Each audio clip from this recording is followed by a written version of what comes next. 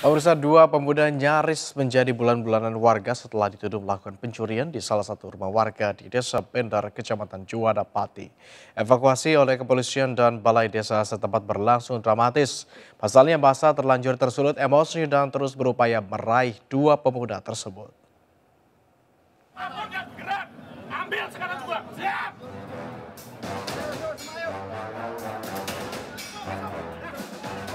Beginilah suasana dramatis saat petugas kepolisian melakukan evakuasi terhadap dua pemuda. Keduanya nyaris jadi bulan-bulanan warga lantaran diduga mencuri di sebuah rumah warga di Desa Bendar, Kabupaten Pati, Jawa Tengah pada Jumat malam. Dari rekaman video warga tersebut, terlihat sejumlah aparat kewalahan saat berupaya mengamankan keduanya dari amukan warga yang terlanjur emosi. Polisi akhirnya berhasil mengamankan dua pemuda itu dan membawanya ke kantor polisi. Dari keterangan yang bersangkutan menyampaikan kepada kita, kemudian kita lakukan pendalaman, yang bersangkutan mengakui tidak melakukan apa-apa.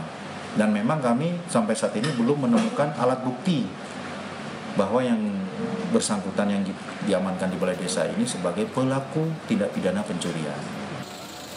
Dari hasil penyelidikan dan olah TKP, kedua pria tersebut tidak terbukti mencuri, seperti yang dituduhkan hingga akhirnya dilepaskan polisi. Dari Pati, Jawa Tengah, Atas Soeharto, iNews melaporkan.